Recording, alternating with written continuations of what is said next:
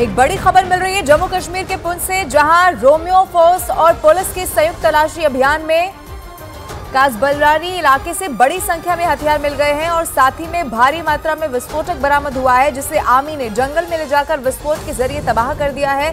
ये बहुत बड़ी खबर आपको बता रहे हैं। बड़ी खबर जम्मू कश्मीर के पुंछ से है, जहाँ पर रोमियो फोर्स और पुलिस का संयुक्त अभियान यहाँ पर चल रहा था, तलाशी अभियान, और इसमें इस इलाके से बहुत बड़ी संख्या में हथियार बरामद हुए हैं। तस्वीरें भी आपकी टीवी स्क्रीन पे हैं और उसके बाद आपको बता दें कि आमी ने जंगल में ले जाकर विस्फोट के ज़रिए तबाह कर दिया है और इससे बहुत बड़ी कामयाबी के तौर पर भी देखा जा रहा है पुलिस और आर्मी के संयुक्त अभियान में ये बड़ी कामयाबी मिली। तस्वीर जो इस वक्त आप देख रहे हैं, वो आर्मी ने जब जंगलों में ले जाकर इसे विस्फोट के ज़रिए तबाह कर दिया, तब की तस्वीर है।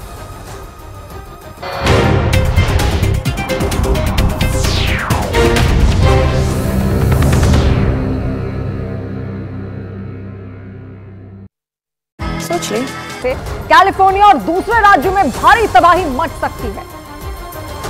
और इसी वजह से कैलिफ़ोर्निया में लोगों को समंदर के किनारे जाने पर पाबंदी लगा दी गई। तूफ़ान के बढ़ते खतरे को देखते हुए उत्तरी कैलिफ़ोर्निया के कई इलाकों को खाली तक करा लिया गया। अमेरिका के मौसम विभाग की तरफ़ से ये चेतावनी दी गई है कि तूफ़ान के असर की वजह से वहाँ बड़ी तबाही मच सकती है, क्योंकि जैसे जैसे तूफ़ान नज़दीक आ रहा है, समंदर की लहरें विकराल होती जा रही हैं। एक रिपोर्ट के मुताबिक, उत्तरी कैलिफ़ोर्निया में समंदर में 30 फीट ऊँची लहरें उठ रही हैं। अनुमान ये भी जताया गया कि तूफ़ान के टकराने के बाद समंदर में 40 फीट ऊँची लहरें उठ सकती हैं। लेकिन मौसम विभाग की इस चेतावनी के बाद भी कई लोग उफनती लहरों को देखने के लिए समंदर के किनारे पहुँच गए। तूफ़ान के असर की वजह से समंदर की लहरें किनारे पर मौजूद चट्टानों से टकराती नज़र आई। समंदर में उठती इन लहरों को देखकर ऐसा लगा जैसे ये लहरें पूरे शहर को निगल जाएँगी।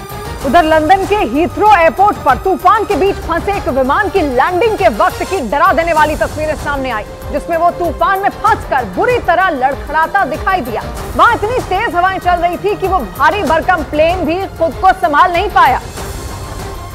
और लैंडिंग के दौरान लड़खड़ाने लगा। इसका जो वीडियो सामने आया उसमें काफ़ी देर तक सब कुछ ठीक चलता दिखा। वीडियो में पहले वो प्लेन बड़े आराम से लैंडिंग के लिए एयरपोर्ट की तरफ़ बढ़ता नज़र आया। लेकिन जैसे जैसे वो प्लेन रनवे के करीब पहुँचने लगा, वो अचानक हवा में हिचकोले खाने लगा। ताकतवर तूफ़ान की वजह से वो प्लेन हवा में ऐसे लहरा रहा था जैसे वो कोई कागज़ का खिलौना हो, या कोई उस प्लेन में रस्सी बांधकर उसे ज़ोर ज़ोर से हिला रहा हो। इस दौरान उस प्लेन में बैठे लोगों की जान हलक में अटक गई। हालाँकि कुछ देर तक हवा में लड़खड़ाने के बाद वो प्लेन आखिरकार रनवे पर सही सलामत लैंड हो गया। लेकिन प्लेन के हवा में हिचकोले खाने का वीडियो सोशल मीडिया पर तेज़ी से वायरल हो गया, जिसे देखकर कुछ लोगों ने तो ये तक कह दिया कि मानो वो प्लेन हवा में डांस कर रहा हो। लेकिन ये सिर्फ़ इकलौता प्लेन नहीं था,